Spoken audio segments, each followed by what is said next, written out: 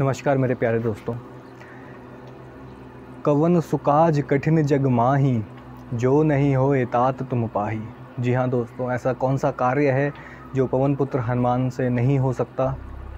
तो चलिए दोस्तों, आज मैं आपके लिए एक शॉर्ट स्टोरी लेके आया हूँ। अपने सिक्स मंथ के योगा कोर्स जो मैंने किया था देव संस्कृति विश्वविद्यालय हरिद्वार से। जी हाँ दोस्तों, बहुत ही इंटरेस्टिंग स्टोरी रहेगी आपको सुनकर, बहुत ही अच्छा ज़्यादा वाला एक गूज बम्स मिलने वाले हैं, मज़ा आने वाला है मेरी स्टोरी सुन के कि कैसे मैं वहाँ पे सिक्स मंथ रहा, कैसा इन्वायरमेंट था, कैसे मेरे क्लासमेट्स थे वहाँ पे एजुकेशन सिस्टम कैसा था? किस प्रकार से प्रैक्टिकल होते थे? क्या थेरेपीज थी? क्या मैंने वहाँ पे सीखा? सब आपको आज इस वीडियो में बताऊँगा। दोस्तों, वीडियो को एंड तक देखिएगा और देखने के बाद लाइक, शेयर, सब्सक्राइब तो दोस्तों करिएगा ही इतना तो कर सकते हैं आप। तो चलिए दोस्तों, शुरू करते हैं। सबसे पहले दोस्तों, देखिए, मेरे साथ क्या हुआ था कि जनरली मुझे पता नहीं था कि मेरे को वहाँ का फॉर्म भरना है नहीं भरना है, या मुझे कैसे फॉर्म भरना है, क्या करना है। पर जनरल एक था कि भाई हाँ डी एस वी है, वहाँ पर योगा में कोर्स होते हैं। तो एक दिन की बात है, मैं और मेरा भाई गए थे हम शांति कुंज में। तो शांति कुंज हम घूम रहे थे तो वहाँ पे हम एक बुक स्टोर में गए। तो वहाँ पे हमने बुक स्टोर में क्या किया, बुक्स खरीदी दो चार, और हम बुक्स को मतलब उसके पैसे देने के लिए हम काउंटर में गए। तो काउंटर में जाते ही डायरेक्टली क्या होता है कि वहाँ पे जो कैशियर होते हैं, जो वहाँ पे पेमेंट ले रहे होते हैं तो मैं उनको पूछता हूँ कि, सर, यहाँ पे एडमिशन हो रहे हैं अभी उसके? मैंने जनरली पूछा है ऐसे मतलब मैंने ना फॉर्म भरा था, ना कुछ किया था। वो कहते हैं, बेटा, मेरे ख्याल से आज लास्ट लास्ट डेट है। तो मैंने कहा, यार, अब क्या होगा? तो उन्होंने एकदम से उनके मुँह से निकला कि, भाई, बेटा, तुम टेंशन मत लो, तुम फॉर्म भरो, तुम्हारा सिलेक्शन हो जाएगा। तो मैं तुरंत घर आता हूँ, मैं जल्दी जल्दी अपना फॉर्म फिल करता हूँ अमाउंट पे करता हूँ और सेंड कर देता हूँ वहाँ पे। तो जनरल दोस्तों, आप विश्वास नहीं करोगे कि तीन से चार दिन बाद मुझे मैसेज आता है कि आपका जो सिलेक्शन हो चुका है और आपका इंटरव्यू है तो ये भी हो जाता है। फिर आगे चलते चलते क्या होता है दोस्तों कि मेरा इंटरव्यू भी हो जाता है और इंटरव्यू में मेरा सिलेक्शन भी आता है। सिलेक्शन होने के बाद बेसिकली दोस्तों दो महीने तो हमारी चलती हैं ऑनलाइन क्लास अब ऑनलाइन क्लास में क्या होता है दोस्तों कि हमारी मॉर्निंग से लेके आफ्टरनून तक क्लास चलती है। योगा प्रैक्टिकल की चलती है मॉर्निंग में। फिर योगा आ, हमारा कमल सर की क्लास चलती थी। हमारे टीचर्स थे बहुत ही अच्छे योगाचार्य थे। जिनसे, जिनके सानिध्य में बहुत कुछ सीखने को मिला। और ऐसा चलते चलते फिर दोस्तों ये दो महीने भी निकल गए। अब आपको पता ही है, ऑनलाइन किसी को नहीं जान सकता आदमी कि भाई कौन कैसा है, किसी से बात होती थी तो उसको जज कर लेते थे। तो ऐसा सब कुछ हुआ स्टार्टिंग में, बहुत सारे कॉम्प्लिकेशन बहुत सारे लोगों ने मेरे बारे में भी सोचा कि यार ये कैसा है। मैंने भी सोचा होगा।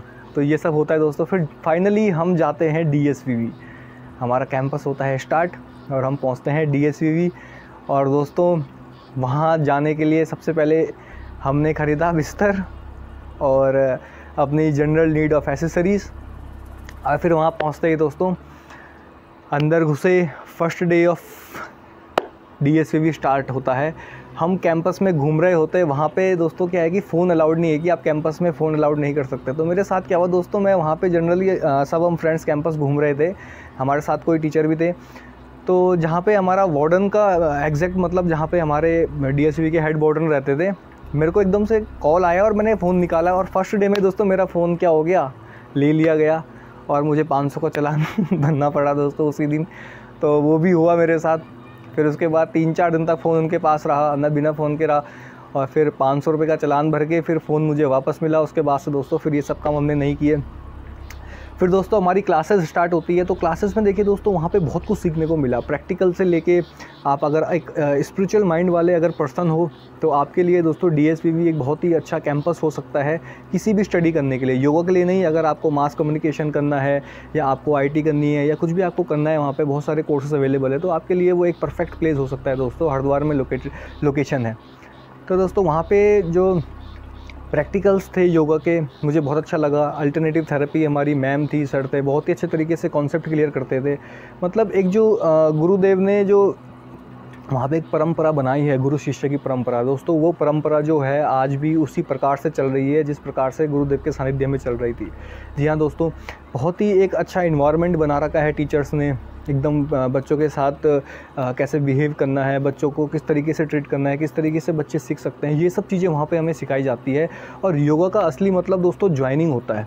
हम जुड़ना जुड़ना सीखते हैं एक दूसरे से तो वहाँ पे दोस्तों हमने जुड़ना सीखा आध्यात्मिक से जुड़ना सीखा, एक दूसरे से जुड़ना सीखा, बहुत ही अच्छे एक्सपीरियंस रहे। और दोस्तों एक्सपीरियंस तो रहे रहे, अच्छे दोस्त भी बने हैं, अच्छे वहाँ पे हमें बोलते हैं ना, शिक्षा मिलती है, जैसे शिक्षा मिलती है, वैसे मनुष्य होता है। तो वहाँ पे शिक्षा मिली वहाँ पे महाकाल का मंदिर था वहाँ पे भी बहुत अच्छे दर्शन थे दोस्तों। गौशाला थी और कैंटीन थी बहुत इन्जॉय करा दोस्तों आप सब जानते होंगे जितने भी आ, हमारे कॉलेज के स्टूडेंट हैं जो हॉस्टल में रह रहे हैं। तो बहुत कुछ सीखने को मिला एट द एंड दोस्तों पता भी नहीं चला फोर मंथ्स का कि कैसे वहाँ पे निकल रहे हैं। नए नए फ्रेंड्स बने ये मज़े किए प्रैंक किए वहाँ पे और बहुत सारी चीज़ें हैपनिंग्स हुई दोस्तों।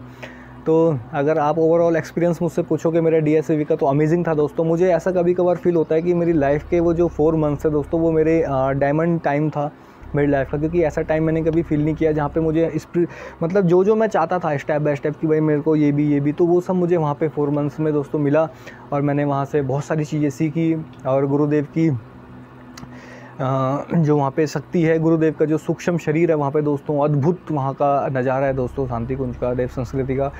तो ये थी मेरी योगा की जर्नी। योगा की जर्नी में हमारे साथ जो आ, हमारे अल्टरनेटिव थेरेपीज़ भी थी उसमें तो वो भी हमने सीखा और अभी हमारा रिज़ल्ट भी आ चुका है दोस्तों और आप सभी की कृपा से फ़र्स्ट पोजीशन आई है। तो अच्छा लगा दोस्तों वहाँ पे पढ़ाई करके। मैं तो सोच रहा था कि अगर दूसरा मौका भी मिलता तो मैं शायद वहाँ जाता। पर दोस्तों समय समय की बात है, जहाँ जैसा लिखा है दोस्तों तो ये था मेरा डी का एक्सपीरियंस आप सभी को अच्छा लगा होगा तो चैनल को लाइक शेयर सब्सक्राइब ज़रूर करें। धन्यवाद।